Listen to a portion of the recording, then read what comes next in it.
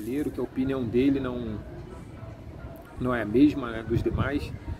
Rapaz, o que eu sei é que, que nesse país que nós vivemos, falar a verdade merece castigo, parceiro. Essa é a realidade. A eleição do Vasco parece até a eleição do Brasil, onde existe a esquerda e a direita. Podemos ver hoje e dividir da seguinte forma: aqueles que acreditam, aqueles que acreditam no projeto Somamos são da direita e aqueles que acreditam na SAF são da esquerda, pelo simples fato, né? Vamos assim dizer que o Levenciano é como Bolsonaro e o Jorge Salgado como Lula, né? Aí a galera fala, ele roubou, mas fez, né? E aquele que tem um projeto, que quer trabalhar com honestidade, quer fazer as coisas direitinho, ele é apedrejado, né? Então você vê aí. E aí tem até agora algumas algumas figurinhas, algumas GIF, né? Algumas assim, como como eu vou falar, cara? Algumas piadas, né, a respeito, né?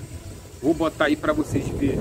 A mesma coisa que acontece, né, com a com a eleição do Brasil acontece com o Vasco, né? Agora o Jorge Salgado virou encantador de burros. Vê isso aí, ó.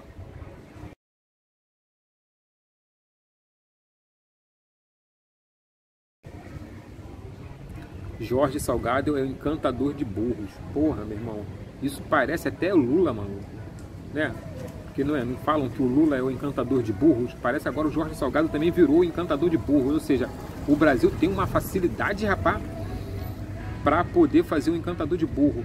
E o Lula tem a seu favor o STF, né, que absolveu ele de todas as condenações do triplex e que agora ele quer o triplex de volta porque ele alegou em juízo, né, ele alegou nas eleições, né, né, quer dizer, ele, ele alegou nas alegações deles em defesa dele, né, nas acusações que ele não era dono do, do triplex. E agora que o, ele foi absolvido, ele quer o triplex de volta porque é dele. Porra, tá de sacanagem, brasileiro. Porra, e agora vem também o Vascaíno dar esse mole porra, o cara vai para as eleições falando que não tem aporte financeiro nenhum e que o primeiro aporte que entrar ele vai se pagar. E ele também fala nas, né, na pré-eleição lá dele, lá nas entrevistas para o YouTube, que esses empréstimos de pessoas físicas não podem acontecer, que isso não irá mais acontecer na gestão dele, e que os pagamentos serão feitos no dia 5, né, e que ele irá pagar os funcionários tudo corretamente. Cara, o cara fez tudo ao contrário. Ele emprestou dinheiro, ele pegou dinheiro emprestado, fez a porra toda errada, cara. E você, vascaíno, né, como sempre, apoia a porra de uma gestão dessa fudida toda falida. Como eu quero entender a cabeça, cara, desse tipo de vascaíno que fecha com erro, cara.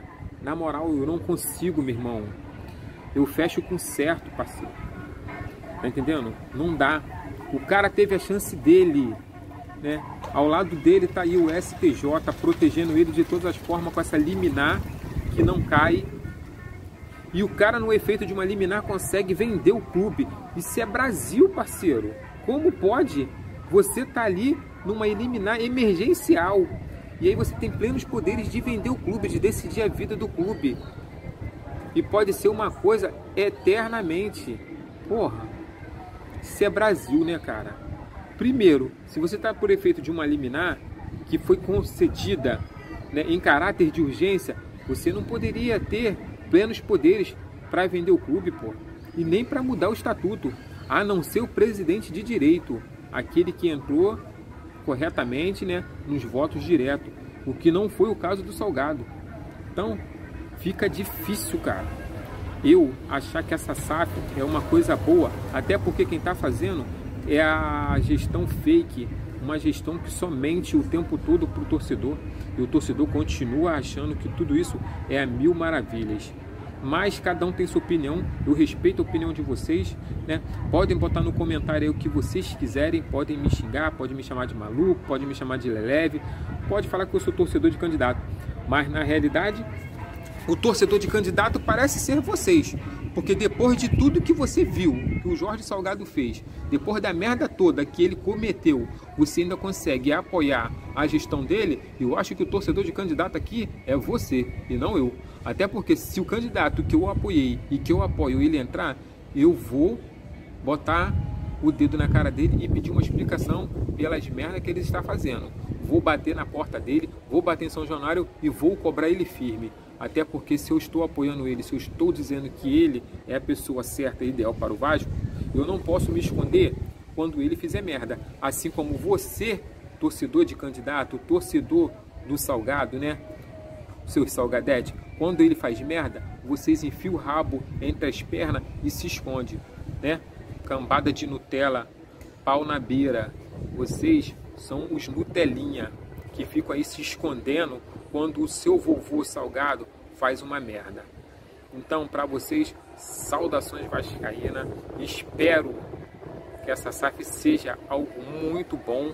Né? Quero queimar minha língua, quero me ferrar em falar mal da SAF, porque eu quero ver o Vasco ser campeão. Agora, se a porra dessa SAF não for boa, segura a marimba, porque eu vou vir e vou gastar vocês, encantadores de burro. Tá ligado, né, seus burros? Vou gastar vocês, meu irmão. Valeu.